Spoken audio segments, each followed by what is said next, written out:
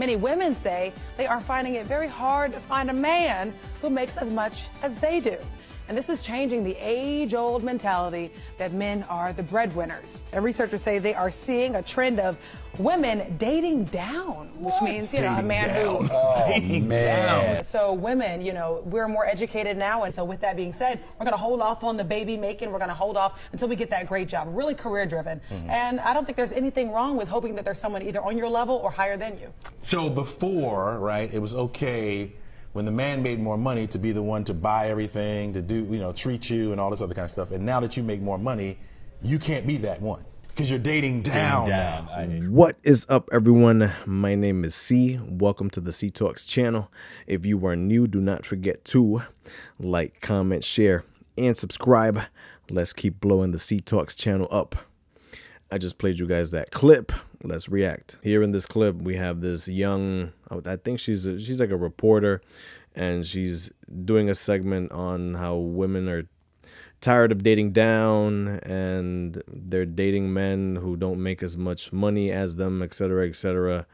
And they actually, it's surprising and hilarious, right? How her co-anchors actually got into it with her during that segment and they're like for years back in the day before women had all this equality it was okay for a man to pay for everything pay for all the bills and and basically take care of you. And now that women fought for all these equal rights and advanced in the workplace and the workforce they view dating a man who makes less money than them as something bad and it's called dating down.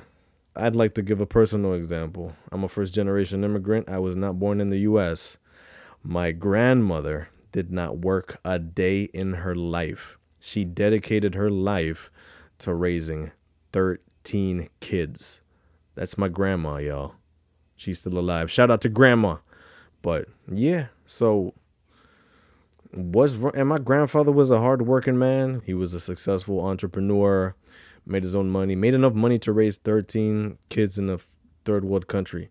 Successful man. But even in my family and in my recent lineage, there I, I, I personally know a woman who never worked a day in her life.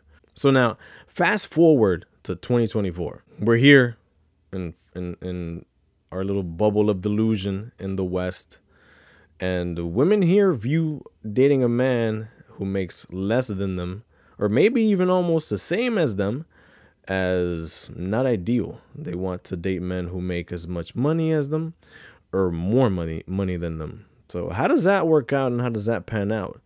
It doesn't end well for the women because I'll tell you this from personal experience as a man, I don't care how much money a woman makes. Men don't care how much money a woman makes. It's true.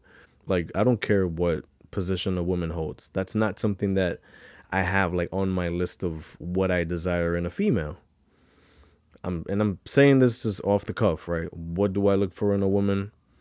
Attractive, chill, laid back, not pushy, assertive, not super domineering, you know, lets me be a guy. This is me being blunt and honest. That's what I look for. It has nothing to do with money. It has nothing to do with money or income. So, have I been dating down all my life because all the women that I date for the most part make less money than me? No, I don't care about money as a as a man.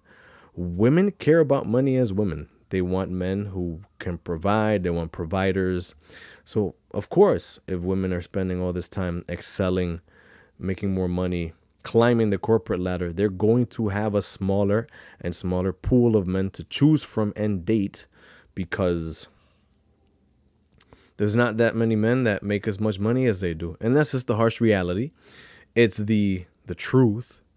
You know, the truth hurts, but it'll also set you free and it'll give you a better idea of what you should be pursuing in this thing called life that we're all a part of. This whole dating down thing is is in the first world here in the US and it's part of the feminist ideology.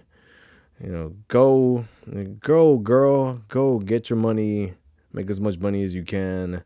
Oh, but uh, hey, don't date any guy that makes as much as you or less because that's dating down and what you deserve is a guy that makes hundreds of hundreds of millions of billions of dollars. You deserve Jeff Bezos, girl. The woman in this video also says that there's nothing wrong with hoping that you'll meet somebody that makes as much or more than you, i.e., there's nothing wrong with hoping that you're going to meet somebody who's on your level or higher. I say you you have to be realistic. You have to understand that right? Women are excelling. They're graduating college at rates never seen before. They're climbing and and reaching high positions and making more money than they ever have. When you spend decades of your life, 10, 20 years, just chasing the bag, working on yourself professionally, trying to climb the corporate ladder and all the things that modern women do nowadays. Of course, every single year that passes and you make more money and you're better off financially, you're going to find less partners who make as much as you because that's the only thing that you're focused on. It's the only thing that you're focused on. As a as a first generation immigrant, I'm gonna tell you guys this. Just me personally, I'm done with the whole like trying to be a super successful, make a crap load of money and work my ass off type of guy at this age, I'm 35, gonna be 36 this year. I like my I like a, a work life balance. I like to work, make good money, but I also like to take breaks and enjoy my life because you only live once, yo. You only get one life, and it goes by fast. And the older you get, it'll go by faster. So enjoy your life. Don't just spend 10, 20 years just climbing the corporate ladder and making money, money, money, money, money, money, money, and then you all of a sudden don't have any dating options because you want to date somebody who makes as much as you. He, here's a, a stat which highlights just this whole dating down thing.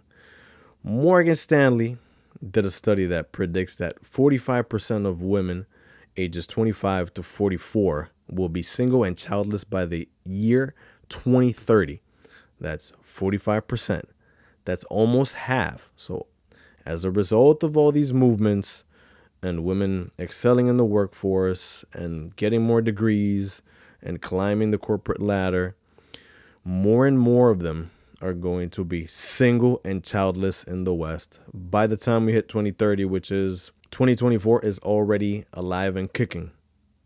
It's almost March. So we got six years till half of women 25 till 44 are single and childless in the US.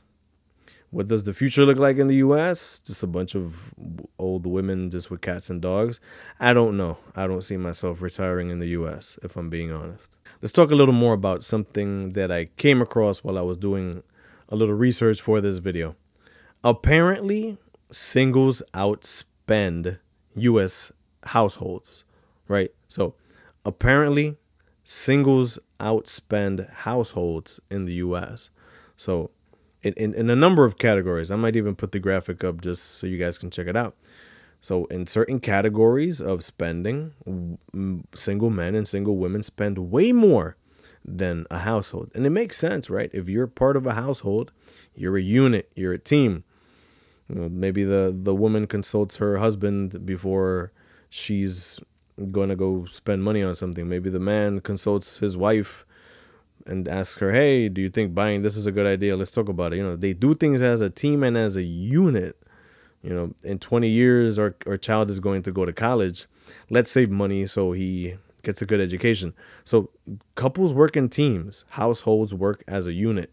They're not just oh this person's doing this, that person's doing that. This person's very individual. No, like you try to work as a team when you're a household. It's no surprise that singles spend more money if you were a corporation and you wanted to make money, and I'm not going to get into the whole social engineering thing, but this is food for thought. If you were a group of large corporations living in a capitalistic country, wink, wink, the US, um, it benefits you if most of the population is single because they're going to spend more than households. It just it just is what it is, yo. All right. So that was food for thought. Um if you guys liked this video, you'll also like this other video up on the screen. My name is Cee. Appreciate you guys watching. I will be back with more videos soon. Peace.